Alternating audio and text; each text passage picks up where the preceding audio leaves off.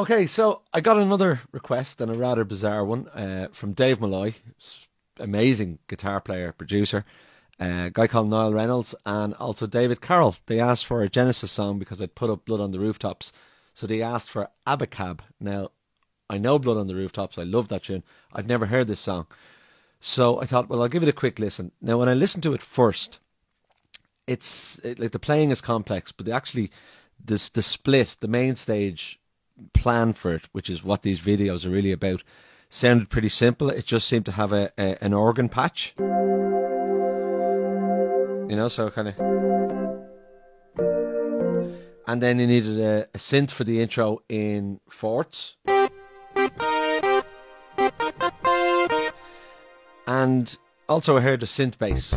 So initially I thought, well, you know, th- this can be very quick. So I've just had a quick look at it and thought, right, that's it. It's a simple split bass, organ, and synth for the intro, anyway.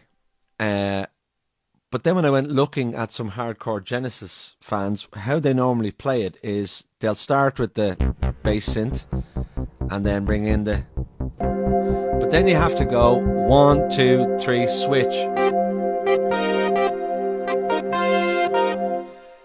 So you've lost your synth bass.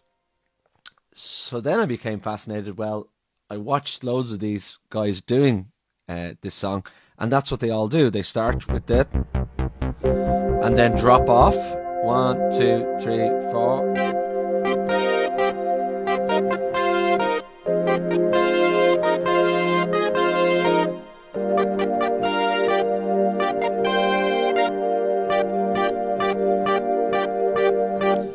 And then they're into the. Then they'll go back to the synth.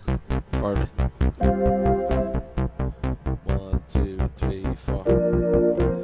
So then I became fascinated to MainStage. Can you actually keep the synth bass going? Because nobody I've seen has done this. So what I've done is used my old friend of chord triggers, and I've put the synth bass up here. Because the bass moves, the synth moves, and of course you're playing a complex line. So again, you'd need four hands to do this correctly. So how do you do it with two? So if I switch off the the the organ pad by using a, a keynote here trigger, it means I can just do the bass and then bring in the chord on the and and then count one, two, three, four.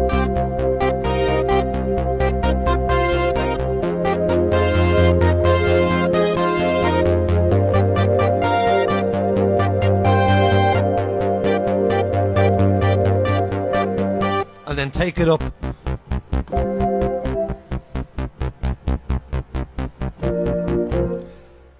So I was rather pleased. So there is a way of doing it on MainStage, and then when you go to the solo, the solo switches to uh, fifths.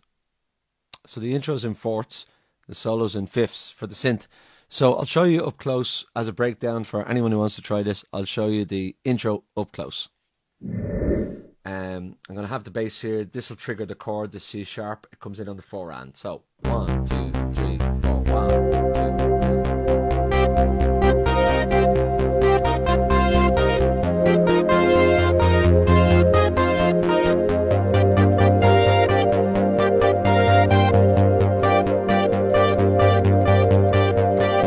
and then you're into the song.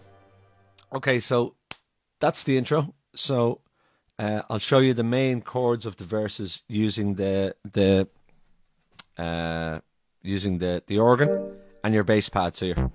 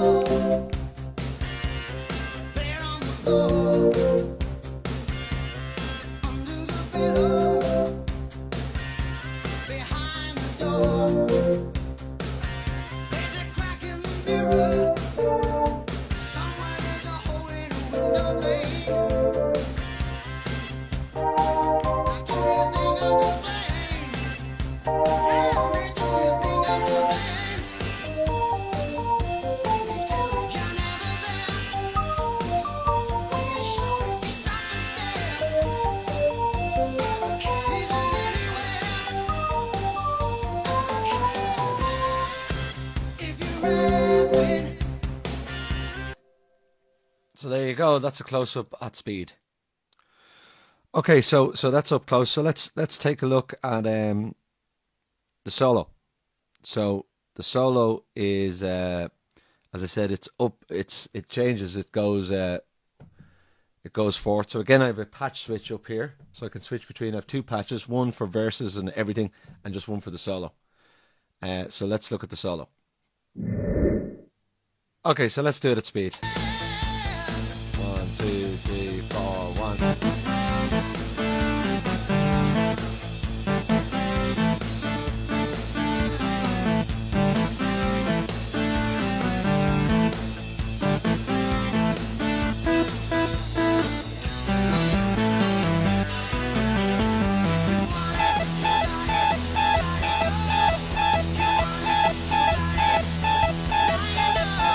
One.